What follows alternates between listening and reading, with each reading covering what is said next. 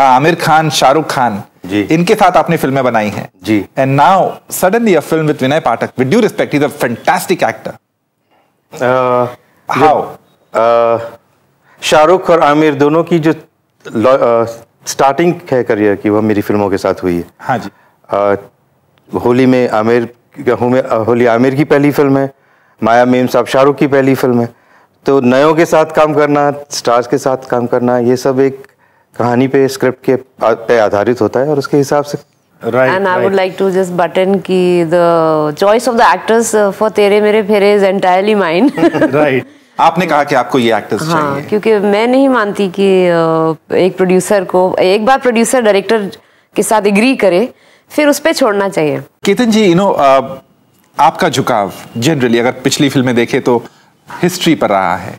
अ, चाहे सरदार हो चाहे मंगल पांडे हो चाहे आपकी रंग रसिया हो। जी। राइट तो जब दीपा जी ने आपको कहा एक कंटेम्प्ररी लव स्टोरी बनानी है आज के दौर की लाइट एंटरटेनर जो आपकी सोच या आपकी जो फ़िल्में जो आप बनाते आए हैं उससे बिल्कुल अलग है ऑपोजिट है और वो खुद डायरेक्ट करना चाहती है। तो आपका इंस्टेंट रिएक्शन क्या था? इंस्टेंट uh, रिएक्शन तो नहीं था क्योंकि काफ़ी अरसे से ब्रू कर रहा था अच्छा। कि दीपा जी को फ़िल्म बनानी है वो नज़र आ रहा था जो जो ब्रूइंग प्रोसेस है।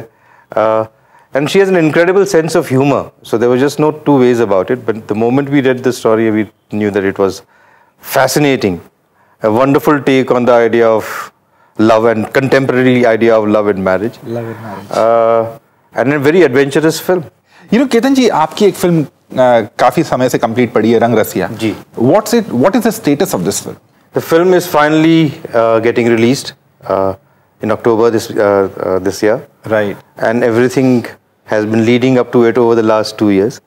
As you know, it uh, was completed over two years ago. and Yes. For various reasons, it could not get uh, released, but finally, the film is going to be uh, see the light of the day. It has traveled all across the world. Right. In film festivals, it has won a few awards. Yes, yes, internationally बहुत तारीफ as है well. आपकी film की, yes. हाँ जी. और अब finally, the labor of love is going to see the light of the day. Yes And it's a great heartening uh, moment. Right right right तो अ, अ, तेरे मेरे फेरे के बाद वो फ़िल्म रिलीज़ होगी? जी।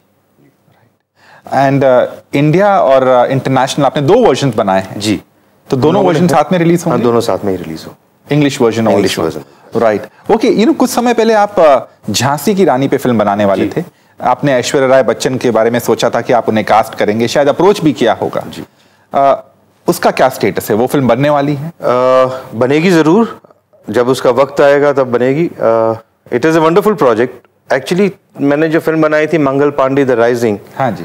That was suppose to be a trilogy series of three films about the starting point of which was Mangal Pandey then Bahadur Shah Zafar the last emperor and Rani of Jhansi right but that's also very big project it is an international project it has two international cast you know आप एक स्वयं एक काबिल actress हैं और कई दिग्गज actors के साथ आपने काम किया है। How come you have not acted in the film आपने इन्होंने आपने इन्हें कहा नहीं कि उन्हें भी एक्ट करना चाहिए? सर मेरी फेवरेट आंसर यही है कि दूसरों को नचाने में जो मज़ा आता है खुद नाचने में नहीं आता। नहीं आता very true very true but seriously jokes apart क्यों आपने काम नहीं किया? I am too restless you know मुझे अम, मैं नहीं बैठ सकती। अ, जब आपको सेट पे क्या होता है एक्टर को मेकअप लगा के पूरे शिफ्ट में तीन घंटे तीन मिनट की एक्टिंग करवाते हैं। तीन minute as you know can होते हैं। हाँ जी। So rest of the time you are waiting lighting हो जाए ये हो जाए वो हो जाए रिहर्सल हो जाए। I am too restless I cannot sit the second aversion I had to it was that my mind works in too many directions. Okay, right. and also i didn't li- enjoy this process of makeup on me you know. Okay मुझे- these you or it no see i enjoyed three four projects i right. must admit like i loved the complexity of Maya Memsa. Right. I think Hum was like a picnic. I mean, with these kind of stalwarts, you're going to have a good time. Yes. So it was a great learning experience also and like a fun.